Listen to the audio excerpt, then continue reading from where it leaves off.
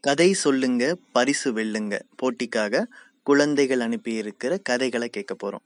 கவனமா கேளுங்க. சிறந்த கதைக்கு வாக்களிக்க மறந்துடாதீங்க. உங்களுடைய வாக்கு அவர்களுக்கு மிகப்பெரிய அங்கீகாரத்தை பெற்றுத்தரும் ஓநாயும் ஆடு மேய்க்கும் சிறுவனும். ஒரு ஊரில் ஆடு மேய்க்கும் பையன் ஒருவன் இருந்தான். அவன் ஆடுகளை மேய்த்து கொண்டிருக்கும் போது திடீரென்று ஓனாய் ஓனாய் என்று கத்தினான். உடனே ஊர் மக்கள் ஓடி வந்து என்ன என்று பார்த்தார்கள். ஆனால் ஓநாய் வரவில்லை. ஊர் மக்கள் கோபமாக சென்று விட்டார்கள். மக்களை ஏமாற்றி விட்டோம் என்று அந்த பையன் அந்த பையன் மகிழ்ச்சி அடைந்தான்.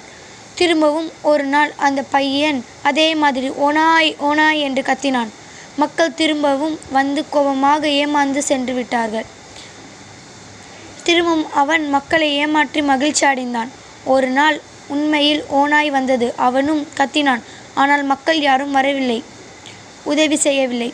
ஓநாய் எல்லா ஆடுகளையும் அடித்து சாப்பிட்டு விட்டது. இப்பொழுதுதான் அந்த ஆடு மேய்க்கும் பையன் தன்னுடைய தவற்றை நினைத்து வருந்தினான்.